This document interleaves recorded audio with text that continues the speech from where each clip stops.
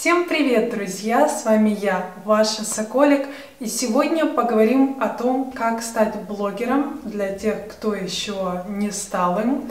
А, потому что тема очень и очень интересная, трудоемкая, и если говорить конкретно про меня, я считаю себя арт-блогером, блогером, который проводит людей в мир искусства, потому что, ну, скажем так, это тема, которая меня интересовала всегда, с самого детства. Да, да, мне это интересно, поэтому я это рассказываю вам. Однако это видео будет интересно всем, не только тем ребятам, которые э, работают в сфере искусства, арта, а вообще абсолютно всем, э, кто хочет стать блогером. Итак, поехали. Итак, первый шаг это просто взять камеру и начать на нее говорить. Так как я была когда-то фотографом, а, я купила себе камеру не на ту, на которую я снимаю сейчас, другую камеру похожую, на нее я снимала раньше.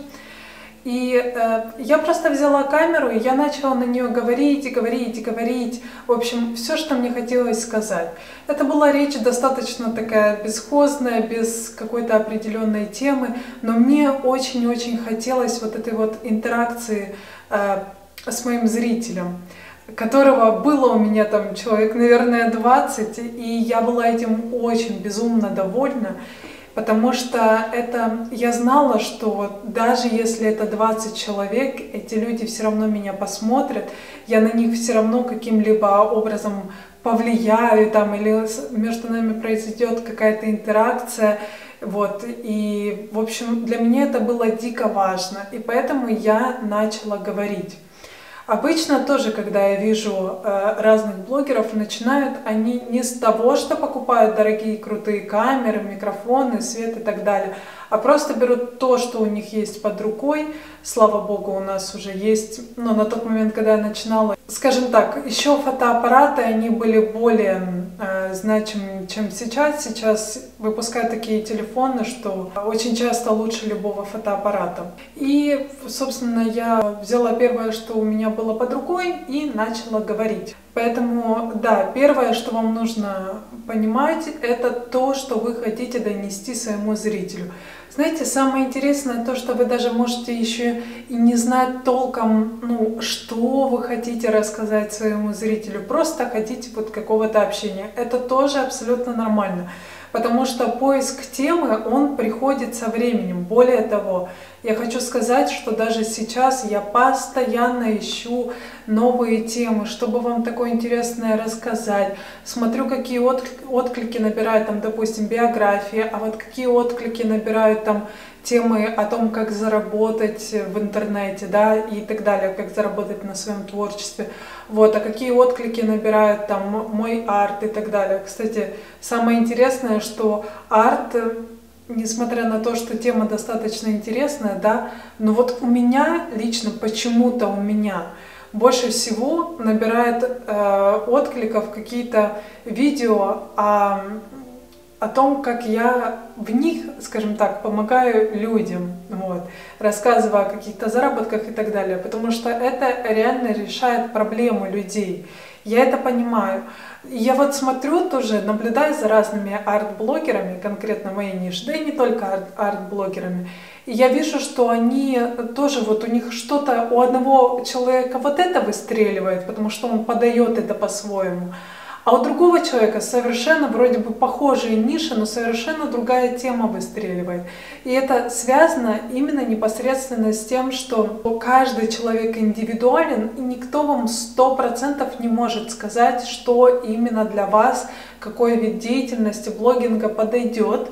Однако стоит учитывать, что вот, скажем так, есть определенные тенденции в каждой нише, их стоит тоже учитывать. Дальше, второй аспект, это, собственно, я уже сказала, должна прослеживаться какая-то четкая тема для блога. Для многих блогеров это не так актуально, но то, что я сейчас вижу, уже интернет, он все больше и больше заполняется людьми различными, да, и, например, последние 2-3 года э, информации было в интернете создано больше, чем за все предыдущие года.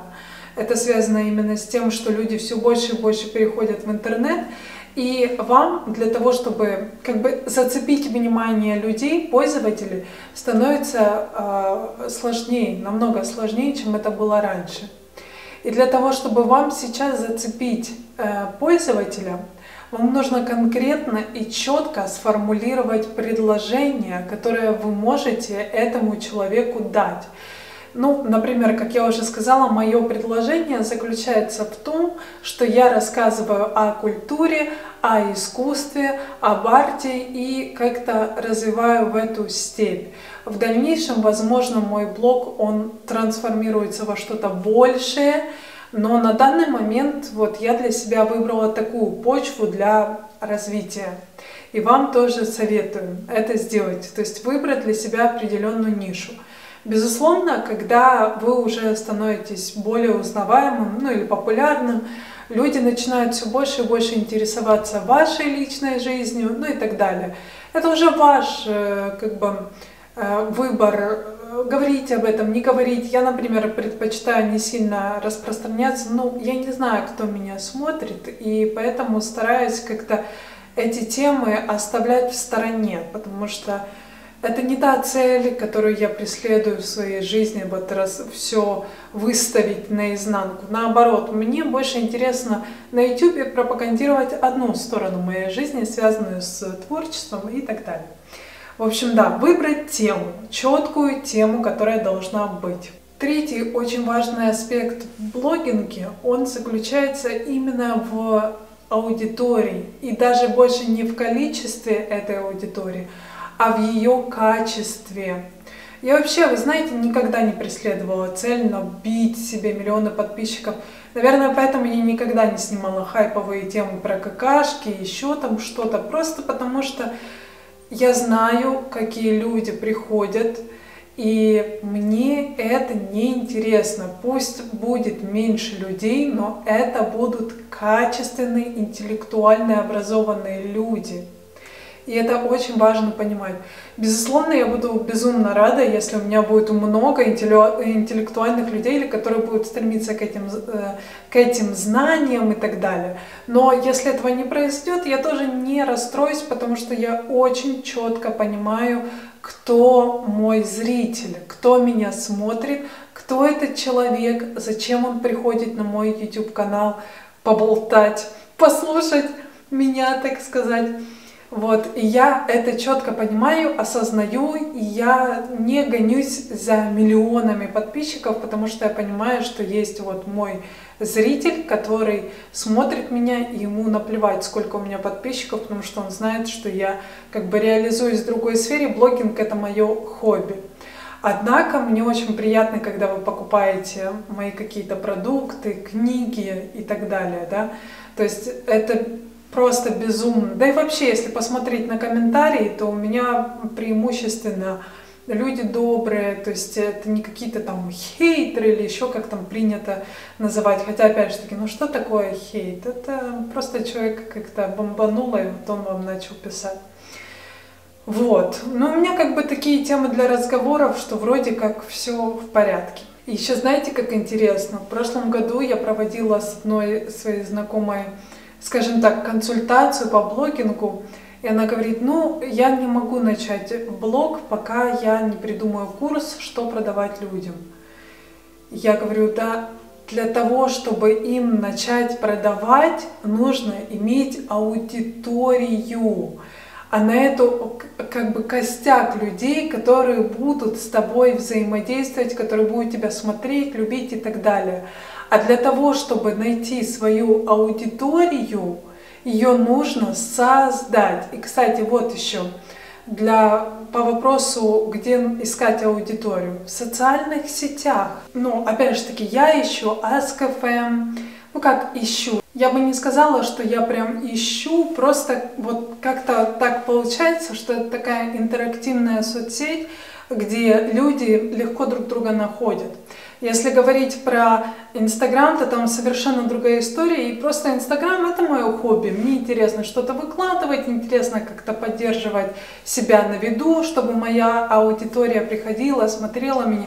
Интересно тоже наблюдать за тем, кто меня смотрит. Я очень часто, кстати, захожу на страницы э, своих подписчиков, и некоторых даже уже знаю в лицо, Вот, поэтому, да, я смотрю, кто смотрит мои сторис, это все для меня это лично важно, вообще смотреть, кто мой зритель. Я, наверное, в этом плане очень осознанный человек, я стараюсь фильтровать информацию, которую я даю людям, понимая, что это все может повлечь за собой определенного рода последствия и так далее. И вообще у меня как-то, вот знаете, со школы так было, что постоянно находились девочки различные, которые э, повторяли за мной, и я в этом никогда не видела ничего плохого, потому что, ну, правильно, я себя так позиционирую, мне хочется иметь такого друга, как я, и поэтому я делаю все для того, чтобы э, быть лучше каждый день. Я соревнуюсь сама с собой.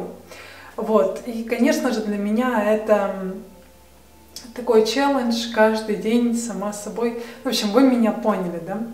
Да, э, в Фейсбуке тоже можно искать и так далее. Кто-то там делает э, рекламу, если там есть деньги, можно даже настроить рекламу на YouTube, но она, правда, скажем так, это уже для более серьезных блогеров, которые, эм, которые имеют бюджеты, там занимаются бизнесом, продвигают свой бизнес и так далее. Ну вот, вкратце я вам рассказала. Ребята, сейчас отличное время, начинать свои блоги. Не бойтесь этого делать, потому что это реально прикольно. Это моя психотерапия. Я прихожу сюда, я высказываюсь, и даже сейчас в таких условиях карантина я никогда не бываю, знаете, в таком вот депрессивном состоянии, в том плане, что мне никуда пойти, мне нечего. У меня есть YouTube, я прихожу сюда, я накрасилась, оделась, я почувствовала себя отлично, я пришла, рассказала вам, вы меня послушали, дали мне фидбэк, поставили лайки, написали комментарии, и я себя чувствую вообще просто отлично. Кстати, за то время, пока мы с вами не виделись, я успела проиллюстрировать одну игру, э, там прикольная такая игра, возможно, потом вам как-то покажу. Сейчас она еще находится на стадии разработки для, одного, для одной нидерландской компании.